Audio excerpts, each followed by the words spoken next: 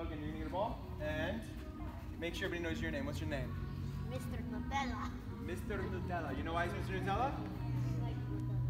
He has Nutella. Stop the ball right in front of your teammate. They're gonna take the ball.